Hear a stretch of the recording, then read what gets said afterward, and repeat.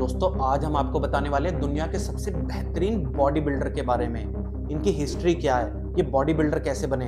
इन्होंने कौन कौन से खिताब जीते हैं? सब कुछ हम आपको इनके बारे में बताने वाले हैं। वीडियो चालू करने से पहले, सबसे पहले आप चैनल को सब्सक्राइब ज़रूर कर दीजिए। चलिए शुरू करते हैं। नंबर वन पे आते हैं रॉनी कॉलमैन। इन्होंने आठ बार मिस्टर ओलंपिया का खिताब जीता है। अब कुछ लोग एर्नोल्ड को नंबर वन पे मानते हैं और कुछ लोग रॉनी को नंबर वन पे मानते हैं।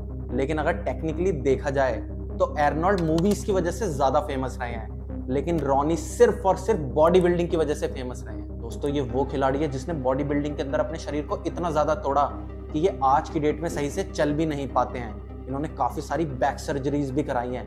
इनफैक्ट इन्होंने एक बैक सर्जरी तो तीन लाख डॉलर यानी कि दो करोड़ चालीस लाख रुपए की करवाई थी, और वो भी पूरी तरीके से सक्सेसफुल नहीं रह पाई। जब इनसे एक इंटरव्यू में पूछा गया तो इन्होंने बताया कि इन्हें बॉडी बिल्डिंग इतनी ज़्यादा पसंद है कि ये जानते हुए भी कि शायद ये बुढ़ापे में सर्जरीज की वजह से चल भी ना पाए। ये बॉडी बिल्डिंग कभी नहीं छोड़ेंगे। इनका जन्म 13 मई 1964 को अमेरिका के लुजियाना में हुआ। अब इनकी हाइट थी पाँच फुट ग्यारह इंच और अगर हम इनके वज़न की बात करें तो जो लोग बॉडी बिल्डिंग को अच्छी तरह से जानते हैं, वो लोग जानते होंगे कि बॉडी बिल्डर्स के दो टाइप के वेट होते हैं। एक ऑन सीज़न एक ऑफ़ सीज़न यानी कि जब ये बॉडी बिल्डिंग में परफॉर्मेंस दे रहे होते हैं, उसे बोलते हैं ऑन सीज़न इनका ऑन सीज़न वेट था 130 से लगभग 135 किलोग्राम के आसपास।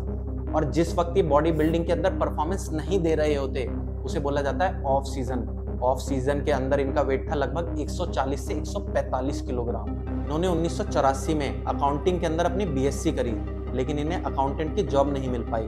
उसके बाद इन्होंने फुटबॉल खेलना चालू किया और कहा जाता है कि इन्होंने डोमिनोज पिज़्ज़ा में काम करना स्टार्ट किया। ये काफ़ी ज़्यादा गरीब थे। इन्होंने डोमिनोज पिज़्ज़ा सिर्फ़ इस वजह से ज्वाइन किया कि इन्हें एक टाइम का मुफ़्त पिज़्ज़ा मिल जाता था। उसके बाद ये टेक्सास में पुलिस ऑफिसर बने और लगभग 11 साल तक इन्होंने पुलिस की नौकरी भी करी। इनके एक साथी ऑफिसर थे गुस्टेवो और लेटा उन्होंने इन्हें मेट्रोफ्लैक जिम ज्वाइन करने की सलाह दी और उस वक्त इस जिम को ब्रांड डॉप्सन नाम के बॉडी बिल्डर चलाया करते थे। डॉप्सन ने इनका लंबा चौड़ा शरीर देखने के बाद इन्हें जिम के अंदर फ्री की मेंबरशिप दे दी, लेकिन एक शर्त रखी कि 1990 में होने वाले मिस्टर टेक्सस की तैयारी ये डॉप्सन के जिम में ही करेंगे। इन्होंने शर्त स्वीकार कर ली और उस जिम के अंदर इन्होंने खतरनाक ट्रेनिंग स्टार्ट कर दी।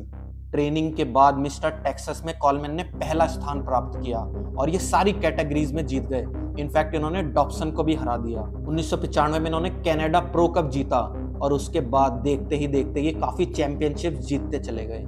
इन्हें मिस्टर ओलंपिया का सबसे बेहतरीन खिलाड़ी माना जाता है। लेकिन कामयाबी इतनी आसान भी नहीं थी।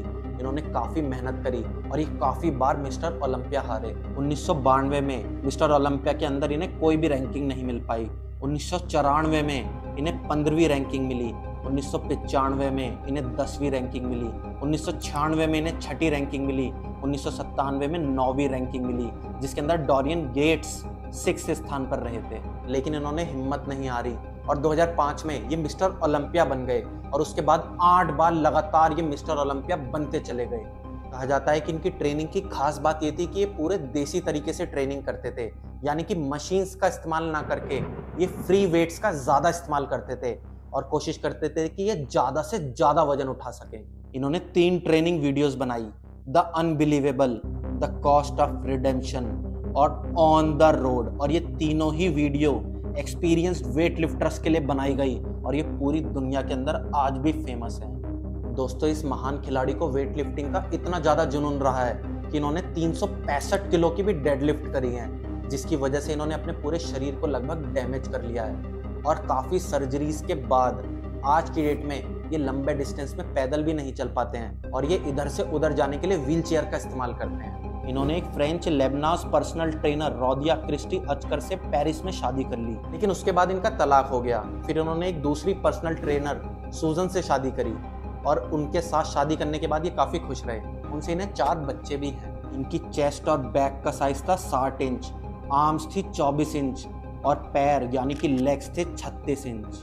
इन्होंने तीन सौ पैंसठ किलो की डेडलिफ्ट, तीन किलो के स्क्वाट 227 किलो की बेंच प्रेस, इक्यानवे किलो के डम्बल बेंच प्रेस, एक किलो के मिलिट्री प्रेस, तिहत्तर किलो के डम्बल शोल्डर प्रेस 234 किलो के बेंट ओवर रो 245 किलो के टी बार, दो सौ पैंसठ किलो के फ्रंट स्क्वाड, तीन किलो के हैक स्क्वाड, चौरासी किलो के लंजेस 333 किलो के बारबेल श्रग्स और 1090 किलो की लेग प्रेस भी मारी हुई है। इस वजह से इन्हें दुनिया का सबसे टॉप बॉडी बिल्डर माना जाता है। इन्होंने अपनी ज़िंदगी में कभी मूवीज़ नहीं बनाई, लेकिन ट्रेनिंग वीडियोस काफ़ी बनाई है। इनफैक्ट आज की डेट में भी काफ़ी जिम के अंदर इनकी ट्रेनिंग वीडियोस चलती रहती हैं, जिनकी वजह से काफ़ी सारे युवा इंस्पायर होकर बॉडी बिल्डिंग करते हैं। अब जाते जाते मैं आपको एक बात और बता देता हूँ। क्या आपने कभी सोचा है कि रॉनी जैसे बॉडी बिल्डर्स पैसा किस तरीके से कमाते हैं? इनके पास काम करने की फुर्सत कहाँ होती है? दरअसल अगर आप इनकी दिनचर्या देखो तो इनका एक बेसिक फंडा होता है। Workout eat sleep and repeat यानी कि मेहनत करना, फिर खाना, फिर सोना और दोबारा से ये चक्र चालू कर देना। अगर आप दुनिया के सबसे बेहतरीन बॉडी बिल्डर बनना चाहते हो, खतरनाक बॉडी बिल्डर बनना चाहते हो तो ये दिनचर्या आपको ज़रूर फॉलो करनी पड़ेगी। लेकिन इन सब के बीच में इन बॉडी बिल्डर्स को कमाने का ज़रिया कहाँ से मिलता है? इन्हें खाने के लिए इतना पैसा कौन देता है? दरअसल ये सब होता है स्पॉन्सरशिप की वजह से, जैसे कि रॉनी साहब के साथ भी हुआ था। जब भी इनकी मेहनत को देख के कोई जिम इनको आइडेंटिफाई कर लेता है, जैसे कि गोल्ड जिम तो ये जिम वाले इन बॉडी बिल्डर्स को अपनी स्पॉन्सरशिप देते हैं कि साहब आप हमारे इक्विपमेंट्स यूज़ करिए, हमारा जिम फ्री में यूज़ करिए, हम आपको खाने पीने और रहने की भी सुविधा देंगे। लेकिन बदले में हम आपके पोस्टर्स आपकी बॉडी बिल्डिंग के बेहतरीन तरीकों को दुनिया के सामने अपनी स्पॉन्सरशिप के थ्रू दिखाएँगे। हम पूरी दुनिया को दिखाएँगे कि आप गोल्ड जिम को इस्तेमाल करते हैं। और यही रीज़न है कि आपने चलते फिरते ज़रूर देखा होगा कि गोल्ड जिम जैसे बेहतरीन बड़े बड़े क्लब्स के अंदर इन बॉडी बिल्डर्स की फ़ोटो लगी रहती है। इसका मतलब ये नहीं है कि ये बॉडी बिल्डर उस पर्टिकुलर जिम में आके वर्कआउट करते हैं, लेकिन ये उन जिम के प्रॉपर स्पॉन्सर्स होते हैं। और एक बार इस करियर में अगर स्पॉन्सरशिप मिलनी शुरू हो गई तो पैसों की बरसात हो जाती है। लेकिन इस करियर में एक बात तो ज़रूर माननी पड़ेगी कि कंपटीशन बहुत ज़्यादा है। तो स्पॉन्सरशिप मिलना इतना भी ईजी नहीं होता है। मेरी आपको बस एक सलाह है कि कुछ भी करिए, लेकिन स्ट्रॉइड्स का इस्तेमाल मत करिए। स्ट्रॉइड्स और काफ़ी सारे खतरनाक केमिकल्स की वजह से हर साल काफ़ी हज़ारों बॉडी बिल्डर्स की जान जाती है। तो दोस्तों, उम्मीद करते हैं आपको ये वीडियो ज़रूर पसंद आई होगी। इस टाइप के फैक्ट्स और मोटिवेशनल स्टोरीज सुनने के लिए, हमारे साथ जुड़े रहने के लिए चैनल को सब्सक्राइब ज़रूर करिए और वीडियो को लाइक भी करिए। मिलते हैं नेक्स्ट वीडियो में, तब तक के लिए बाय बाय